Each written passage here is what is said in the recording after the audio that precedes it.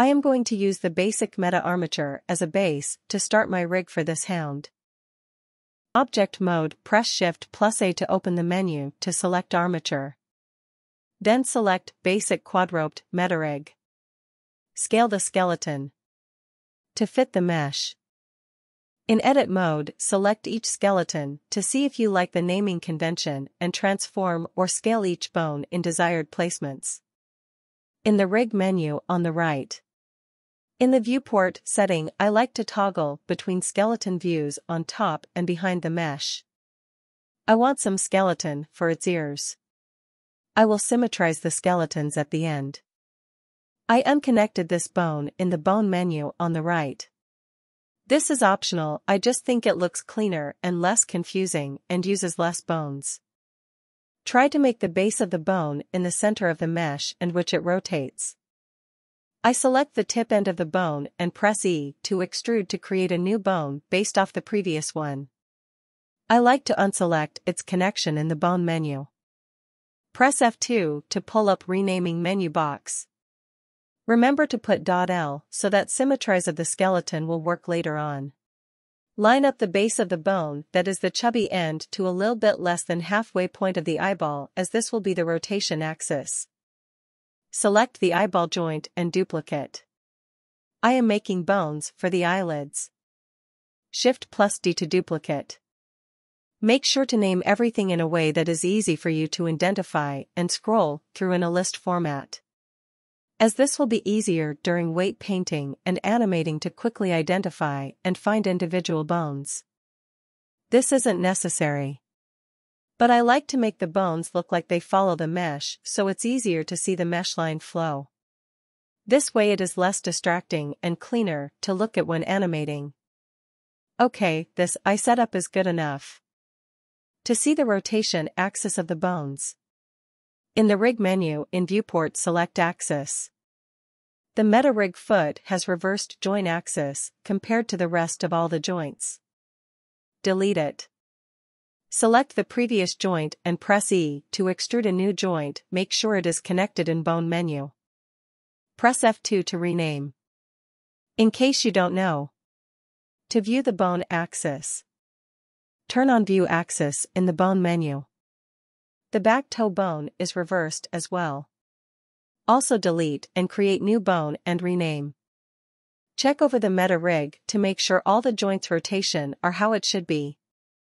Looks good enough. Now delete all the bones on the other side. Making some eyebrow joints.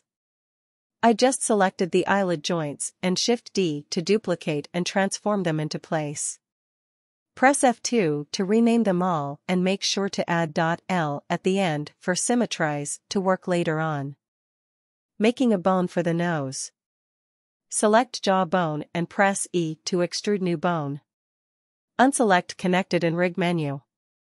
Making some lip bones in case I do make an open mouth bag with teeth for this hound. Select the head bone and press E to extrude and unconnect the bone. Rename it to jaw. Shift plus A to select all the joints in edit mode, go to armature menu at the top and select symmetrize. Splendid. The bones are automatically mirrored with the correct renaming to replace the .L to .R. To skin the mesh to the bones. First, select the mesh, then select the rig and Ctrl P to parent with automatic skin weights.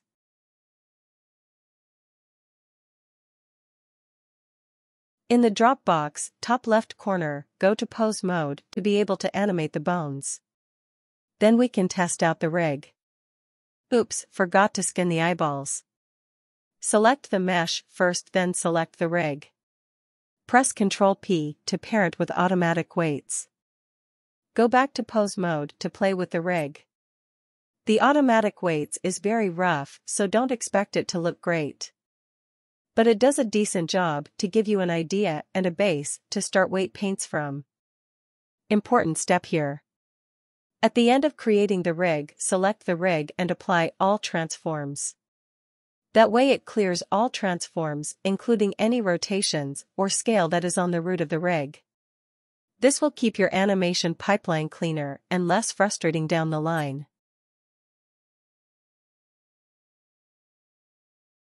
Now I will save some keyframes to create a simple animation. In pose mode, press Ctrl plus A to select all the bones.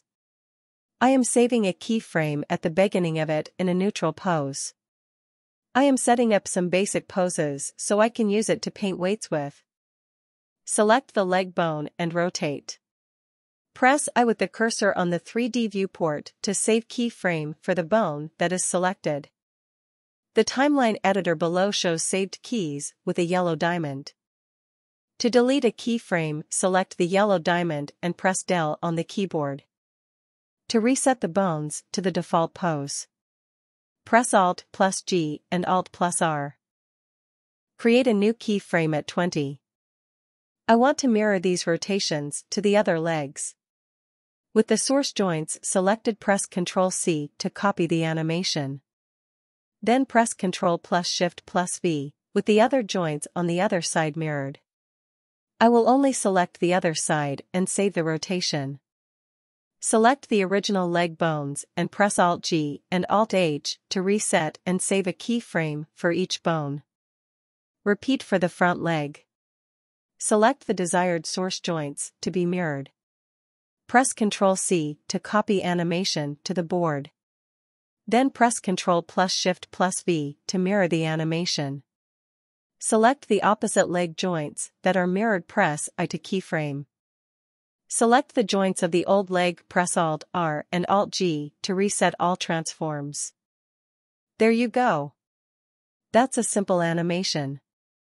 Simply add more animations to the rest of the body to help with weight painting down the line. Some final cleanup of the skeleton. Reparenting of the face rig. I am selecting all the nose and lip bones and unparenting it from the jaw. I will parent it to the head instead. Alt plus P is the unparent. The child is the first selection, then press Ctrl plus P to parent. I am keeping these joints as offsets as I do not want the parent's rotations to affect the child. This little smile bone will be the only bone parented to the jaw. I don't like how the head bone looks, I think it will get in the way of the eye and eyelid control handles that I will make later on. The eye and eyelid bones are parented to the neck so I am unparenting press Alt-P. With the child bone selected shift, select the parent bone and press Ctrl P to parent as offset. In pose mode, test out the new parenting. Looks good. Go back to edit mode. Select the ears bones and then select the head bone press Ctrl P to parent. Keep as offset. Yay! In the next video, I will put some IK constraints for her feet and legs and some custom control handles for her head and body. See you in the next video. Like and subscribe to help my channel. Thanks for the support. Bye for now.